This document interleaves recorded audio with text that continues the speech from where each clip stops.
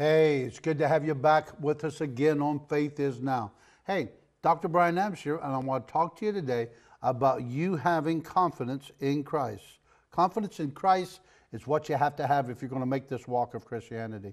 Because if you doubt Him, if there's something that you're not confident in Him, or maybe even confident in yourself, it's going to affect your prayer life.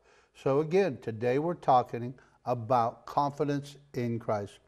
Let's start with the scripture found in Hebrews chapter 10, verse 35 through 39. Cast not away, therefore, your confidence, which has great recompense of reward.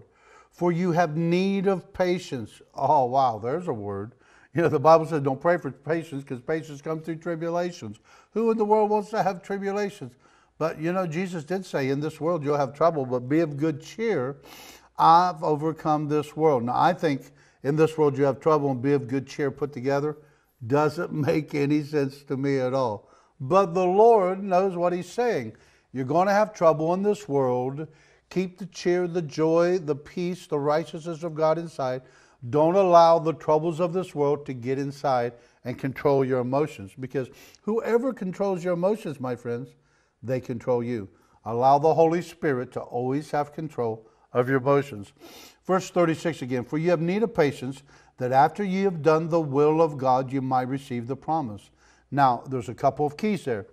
You have need of patience, and then after you've done the will of God. You can't do your will or the devil's will or your friend's will and then be expecting God to come. Remember, He's not the author of confusion, so we can't bring God our confusion and ask Him to bless what He hasn't created. And then, so if you're confusion in your life, first thing we need to do is just say, Lord, forgive me for this confusion.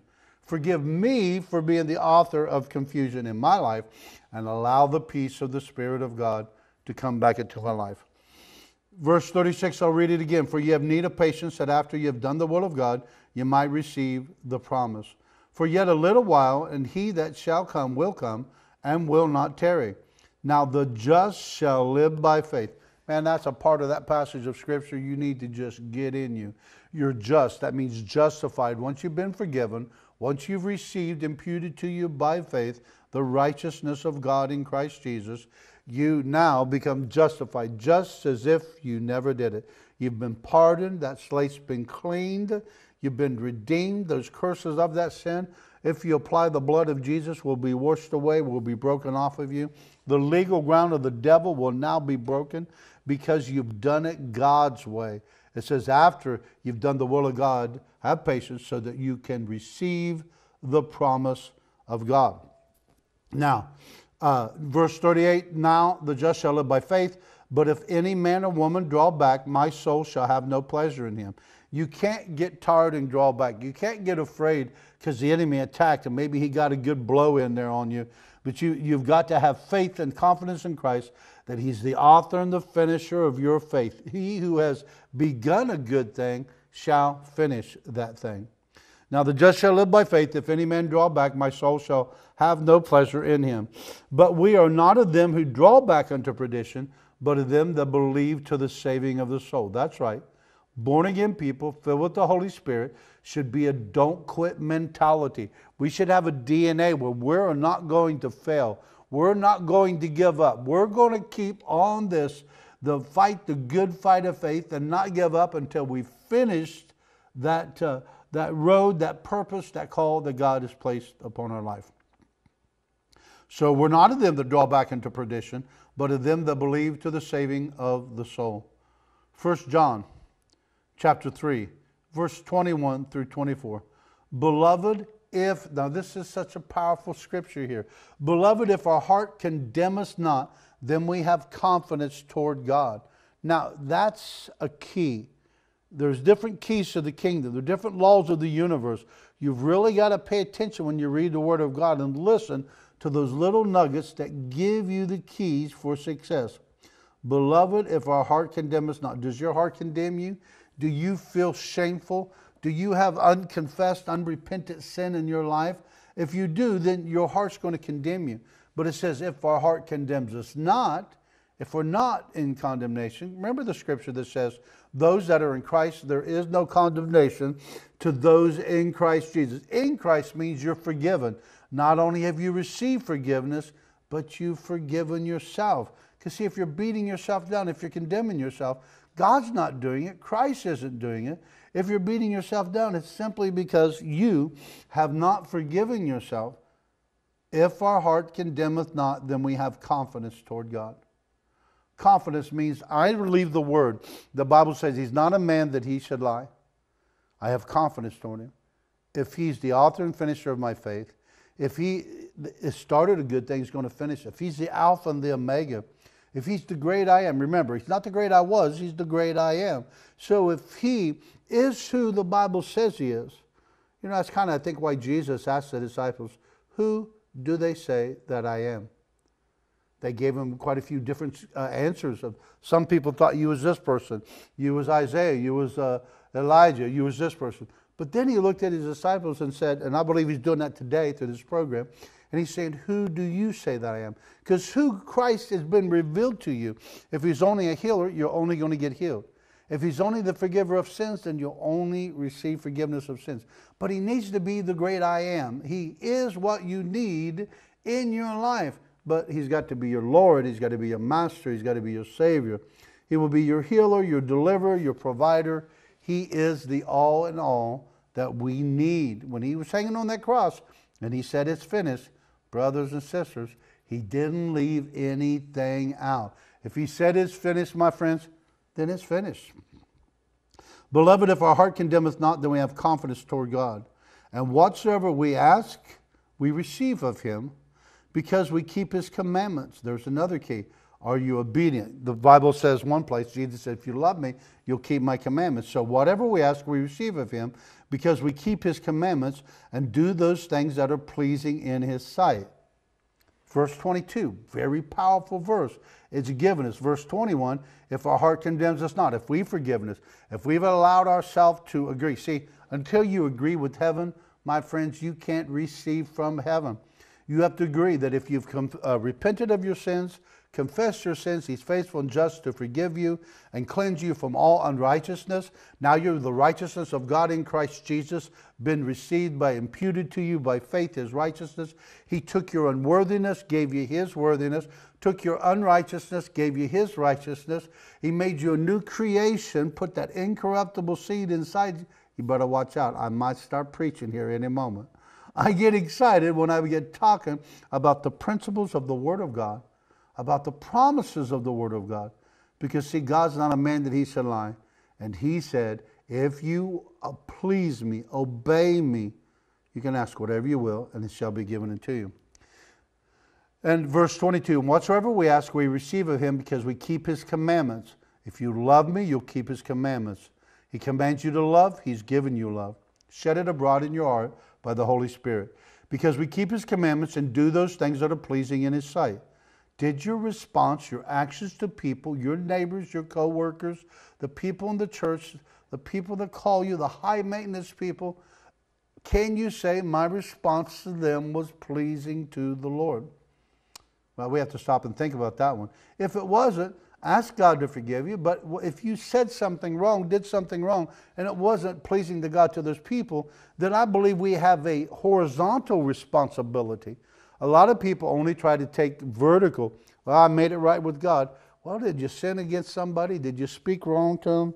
Did you do a wrong business deal and, and cheated them of money? Go make it right. Apologize. Say, that's not the way God would want me to be. And whatsoever we ask, we receive of him because we keep his commandments. And we do those things that are pleasing in his sight. And this is his commandment that we should believe on the name of his Son, Jesus Christ, and love one another as he gave us commandment. That's right, he's given us commandment to love one another as we love ourselves. So if your heart condemns you, you're probably not going to love yourself very much. And if you don't love yourself very much, then you're not able to treat that neighbor, to treat those other people the proper way that God wants us. So we have to receive love. He's not given us a spirit of fear, but a power, of love, and a sound mind. We got to receive that spirit of love, then allow the Holy Spirit to flow through us. And as we pray in tongues, allow His Spirit to flow through us. His love is shed abroad in our heart. Receive the spirit of love, His love shed abroad into us. now we've really got no excuse. We've got the love that's supernatural to help us to obey His commandments. We've got the love that's able to, to love the people. Because, see, God doesn't want to pe- see the people say, oh, this person is a nice person. They've loved me. They're going to say, man, they've delivered to me a love that no human ever has. So God must be in them and working through them. That's why I see if you're an ambassador, you're not to represent your own kingdom or your own self. You're representing the King of Kings, the Lord of Lords, the kingdom of the great I am. And this is the commandment that we should believe on the name of his Son, Jesus Christ, and love one another as he gave his commandment. Verse 24 And he that keepeth his commandment dwelleth in him, and he in him. Hereby we know that he abideth in us by the Spirit which he has given us. Man, I know that he's there because his Spirit's there. His Spirit drives me. His compassion moves me to forgive people, provide people, support people, love people uh, to, to give grace to people when they mess up. Come on, you have bad days and you flesh out and you do wrong things. Don't you want to be forgiven? You know, as quick as you and I want to be forgiven when we confess our sins to God, we should forgive other people when they've done wrong. And some of these people aren't going to ask for forgiveness. Maybe they'll never even admit they were wrong. But I believe God wants you to not only say, Lord, I forgive them, they don't know what they're doing then we even need to go farther and step into an anointing and a presence of intercession. As we step into that intercession, it's going to be just like Jesus did, just like Stephen did.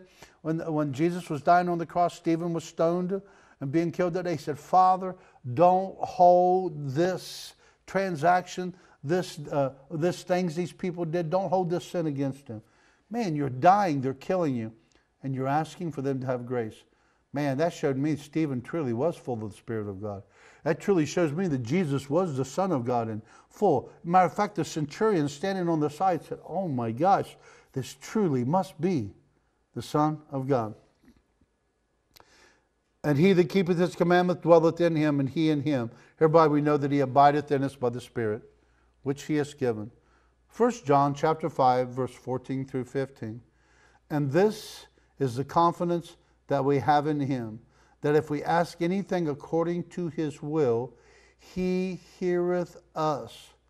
And if we know that he hears us, whatsoever we ask, we know we have that petition that we desired of him. Hmm. And we know that he hears us whatsoever we ask. Jumping up into verse 14. Let's go back there again. If we ask anything according to his will.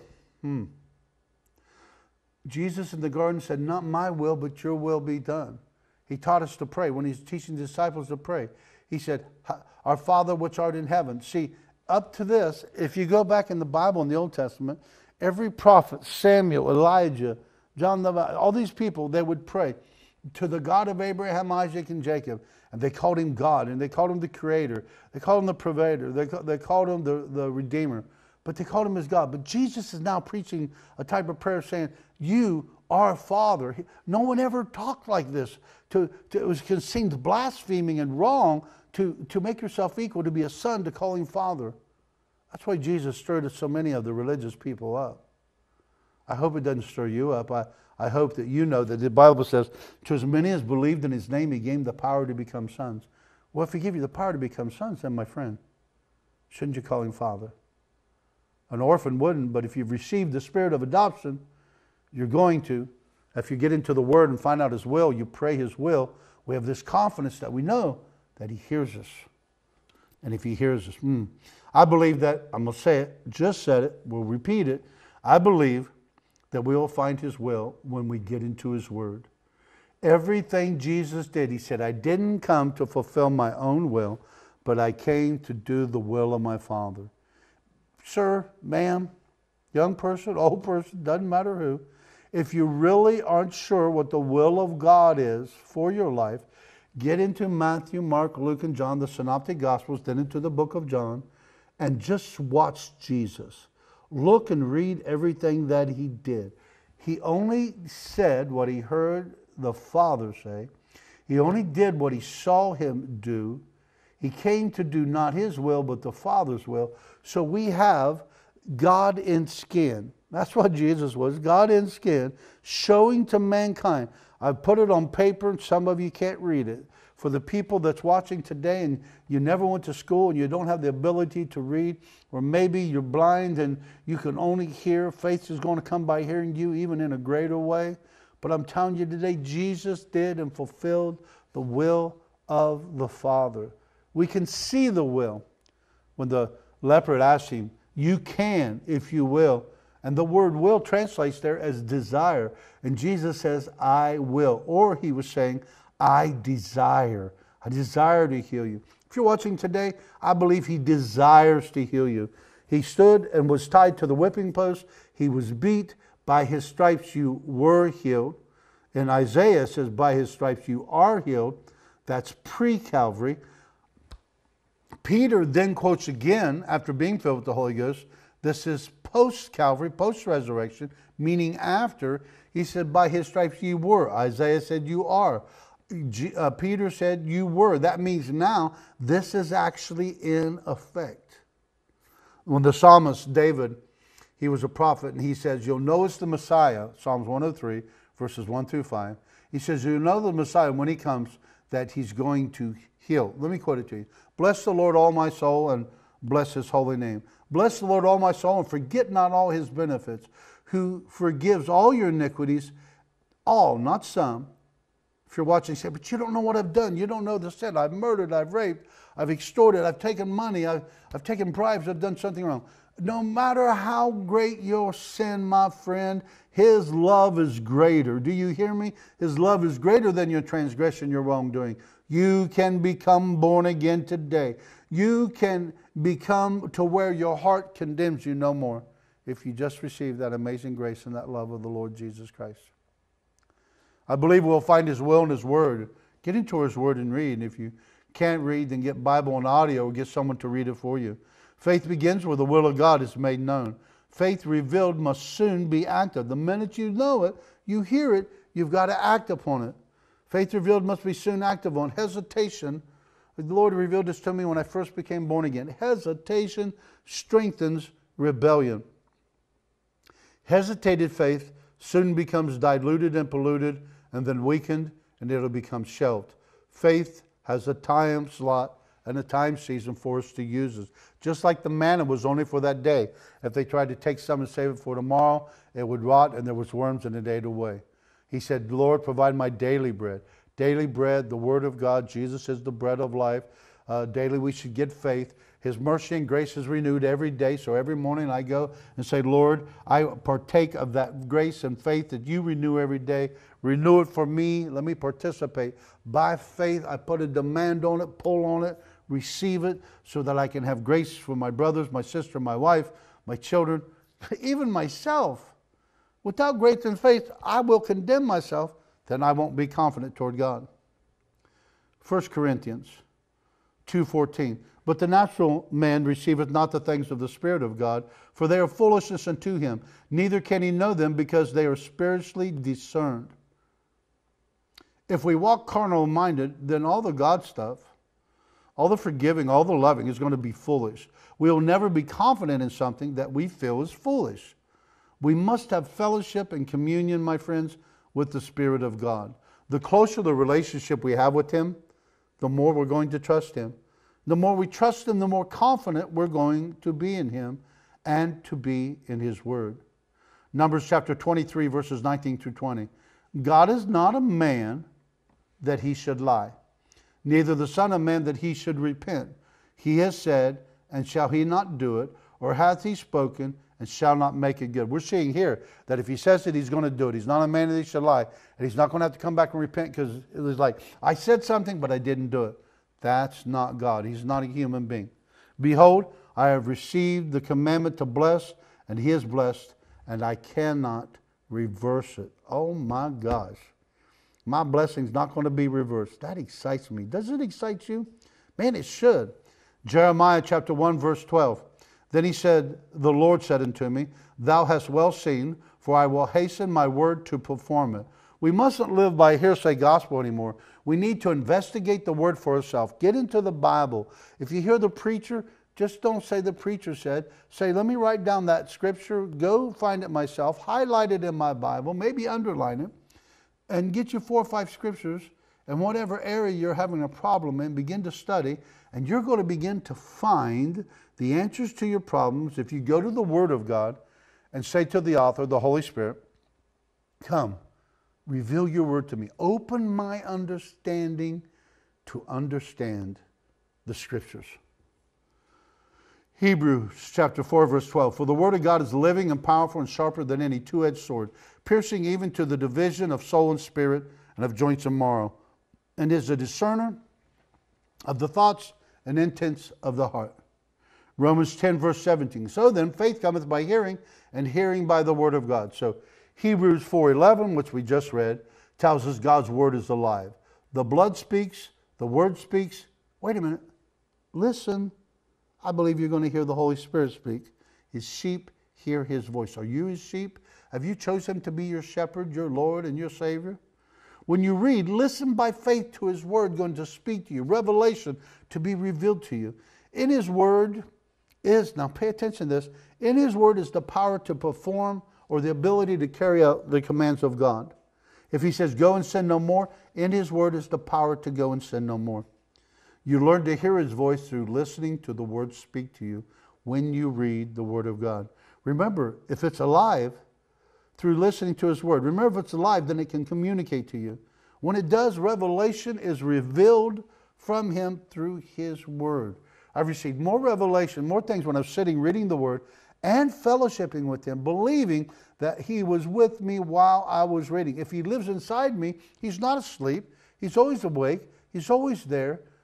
I like a song that one lady she sang. She goes, "I don't want to talk about him like he's not in the room. I don't want to talk about him right now as I'm preaching to you and teaching to you on this television program, Faith is Now, like he's not present. He's present. I believe he's speaking through me. He's revealing to you his love for you, his grace for you. No matter how great or powerful your sin, my friend, His love is greater to forgive you, to redeem you. You've walked away, you've fallen, but you know what? He's prepared a fatty calf for you. He's, he's calling the prodigal home. Looking unto Jesus, the author and finisher of our faith, Hebrews 12, verse 2 through 4, who for the joy that was set before him endured the cross, despising the shame, and is set down at the right hand of the throne of God. For consider him that endured such contradiction of sinners against himself, lest ye be wearied and faint in your faith, for you have not resisted unto blood, striving not to sin. But Jesus did. He was tempted by all things, but yet did not sin. Are you ready to get confidence in Christ? Are you ready to get rid of that condemnation that you have against yourself? Quit beating yourself up. Quit thinking that there's something else besides the grace and what Christ did that you need to do to get saved. It's, not, it's by grace through faith that you are saved. Not, not, nada, nada, nada, not of any works, or you and I would boast. You don't have to add uh, punishing yourself. Just receive, my friend, the grace of the Lord Jesus. Pray with me right now, will you? We're coming to the end of the program, and I want you to pray with me to accept the Lord Jesus Christ. Or maybe you've been saved for a while, but you've grown cold and you've drawn away. Well, let's make a fresh commitment to the Lord today, either first time or renewing. You pray this prayer, and if you pray it by faith, come to God believing that He is and that He's a rewarder of those that diligently seek Him. You can be born again, or you can renew your love to the Master. I make a conscious decision. Come on, repeat after me. I make a decision to forgive every person that's ever done me wrong. I even forgive myself. I release the past and I let it go. I believe Jesus is the Son of God, the only way of salvation, no other name to be saved under but the name of Jesus. I believe He died for my sins. I believe He was raised from the dead. Now, come into my heart and be my Lord and Savior. I believe you're the answer to my problems and the world's problems. Jesus is the only way, truth, and life. Be my forgiver, my healer, my Savior. I believe in you, Jesus. You are eternally and always will be the Son of God. Forgive me of all my sins and be my Lord. I confess with my mouth, I am now saved. I receive forgiveness. I am born again. In Jesus' name. Amen. Amen. You know, if you prayed that prayer, there's a phone number on the screen for WhatsApp where you can text me or you can send a message. There's an email on there also. Email us and tell us that you just rededicated your life or you became born again. We want to hear and rejoice with you. And we're going to leave that up there because we're going to pray now a prayer for healing. When we pray for that healing, if your pain leaves, your tumor dissolves, uh, your eyes open, your ears, whatever the problem is, we want to know what God's doing in your life. So let's do that right now. Let's pray. Put your hand wherever the pain, if you have a tumor, a, a hernia, a growth, your, your vision's bad or gone, hearing, deaf, whatever. If they're somewhere in the room and they can't hear or see, put your hands on them and be my hands for me today. Put your hands there. We're going to pray. As soon as we get done praying, I want you to get up, stand up, walk, do something, check for the pain, check your eyes, check your ears. Do something by faith that you were never able been able to do since the sickness or infirmity came upon you. If there's pain in your body, lift your arms and legs. Do something you couldn't do before in the name of Jesus. You got your hand there? Are you ready? It's only going to take but a second. In the name of Jesus, I break every curse, spell, or incantation, every bit of witchcraft off your life. I command those spirits to leave and I forbid them to come back in the name of Jesus. I command every spirit of infirmity, sickness, and disease come out of your body. Cancer, leave in the name of Jesus. Spirit of death, spirit of witchcraft, go right now. Spirits causing uh, hernia growth, tumors to grow, come out, never to return. I curse the blood vessels feeding them. Stop feeding those tumors now. I command those tumors. I curse them exactly like Christ cursed the fig tree. Tumors dissolve now in the name of Jesus Christ. Blind spirits come out in the name of Jesus. Vision be restored in the name of Jesus Christ of Nazareth. Deaf spirits, mute spirits come out, never to return. Eyes see, ears hear, tongue be loosed in the name of Jesus Christ. Arthritis, bursitis, fibromyalgia, get out of these joints now in the name of Jesus Christ. Your power is broken.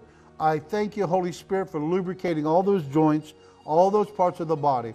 Paralytic spirits causing crippling, arthritis, uh, get out of those wheelchairs right now. Get out of that sick bed. Every long term effect of COVID, I break your power. Lung problems, blood problems, cancers, leave now. Life be restored, vision be restored, blood sugar levels be normal now in the name of Jesus. Try it. Do something you couldn't do before. Check for the pain, the tumor, and the growth. See the WhatsApp number, see the email address. Contact us, let us know. I'm excited, but I'll be back here very soon.